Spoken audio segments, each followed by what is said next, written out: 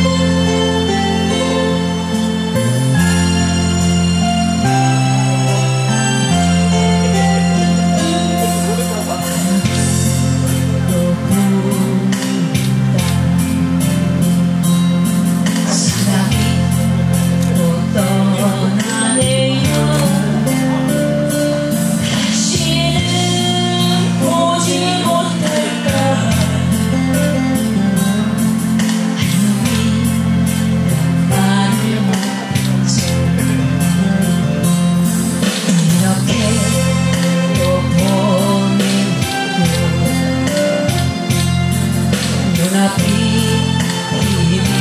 희미하네요